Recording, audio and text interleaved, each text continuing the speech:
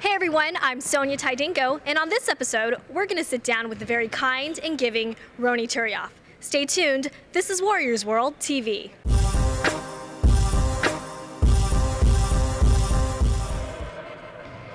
Hi everyone, I'm here with Ronny Turiaf today.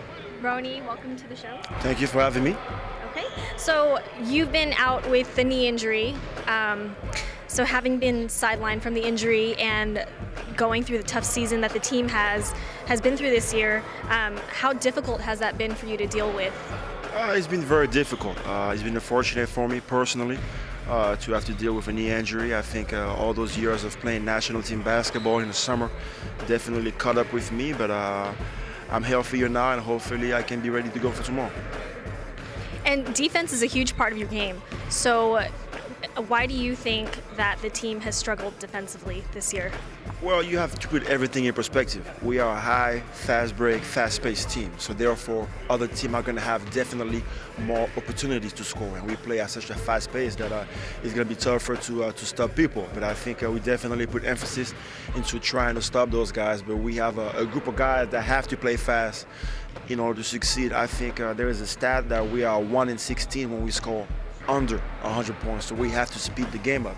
And I think uh, if we have everybody healthy, we'd have definitely a better record. And what will you be working on um, specifically in the off season to improve for next season? Uh, uh, my main goal are conditioning, conditioning, conditioning, and rehabbing the knee. So if I if I'm in better shape, I can play at a, at a better level, at a higher level for a longer period of time. And I think I can definitely help this team by being on the basketball court and not on the sideline.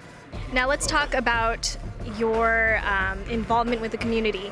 You found you you established the Ronny Turiaf Heart to Heart Foundation, and you've recently been recognized in the NBA. You you just got the NBA um, Cares Community Assist Award, and you got the Hero Award from El Cerrito High School. How does that make you feel to be able to give back through this foundation? It makes me feel fantastic. Uh, it, it makes me feel really good as a human being. I was once in a situation where I, I, I was helpless, and I think it's definitely uh, gratifying for me to be recognized as far as all the effort that I put out there, uh, especially with the with the team behind me, with the Warriors behind me, with the PR and CR department behind me, just trying to help help me accomplish things. It definitely feels good, and uh, I can't wait to keep on doing it. And uh, with your guys' help by spreading the word around, my foundation is going to get bigger and bigger. And I think once my foundation get bigger and bigger, I can help more people. So I think uh, it's the best of both worlds.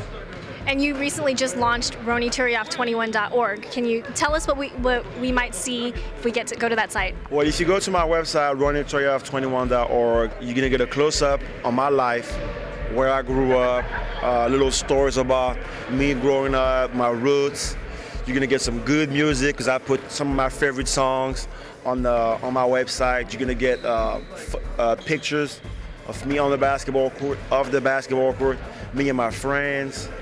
Uh, you're gonna have a news about my foundation. So pretty much, it's a really close-up look of Ronny Turiaf. It's, it's, it's how what passion me, and I think I have a, a peeps corner where I talk about every week about stuff that that I have interest in, movies, restaurants, and stuff like that. So I think uh, it's a close-up look, and the more people go in there, I think the more I'm going to be uh, definitely happier about it and uh, take it to another level.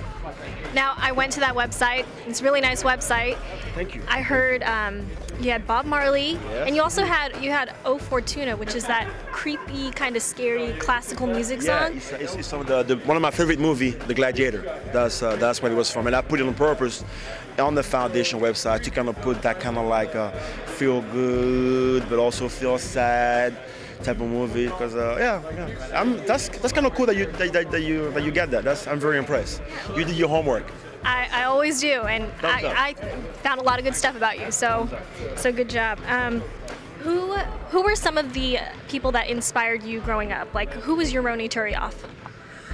The people that inspired me were uh, a lot of people. My mom definitely inspired me to be to be a better human being on a daily basis. Uh, my grandpa definitely inspired me. Rest in peace, grandpa. Uh, the way he carried himself and the way he was so dedicated to his family, to his work, and to everything that was happening in his life.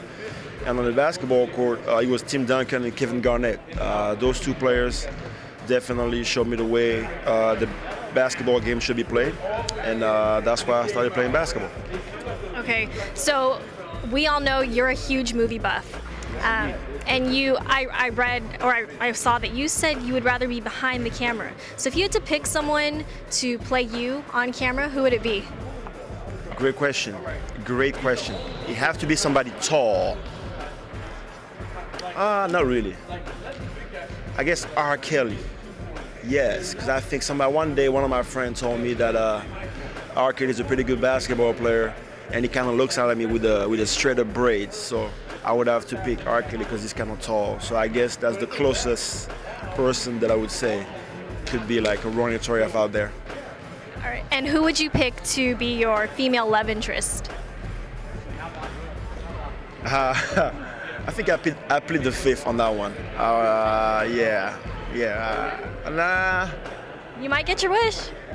No way, no way I get that wish. Uh, so I played the fifth on that one. okay, all right. Um, what is your favorite sports movie of all time? Tough call, tough call, tough call. Um, remember the Titans. All right, that's a good one. And um, you're from the beautiful island of Martinique and I know you miss home, but what is it about the Bay Area that makes you comfortable comfortable enough so that missing home isn't so bad?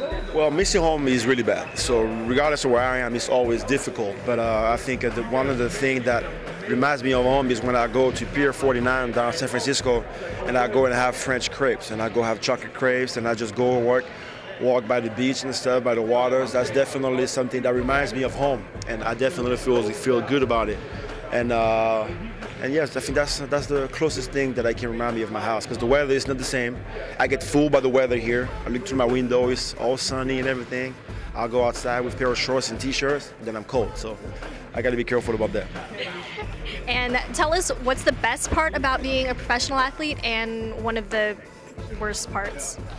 The best part is my life, uh, the overall life, and the worst part is my overall life. Uh, it, with great things. A lot of a lot of that is being asked out of you. Um, it's very very stressful to be a professional athlete. Uh, people seem to always see the glamour and the money and all that stuff that comes with it, but they don't see all the hard work that we have to put in and all the behind the scenes stress that we have. And I think uh, it's just a matter of just living your life to the fullest on a daily basis and try to be as happy as you can and try to make it happen.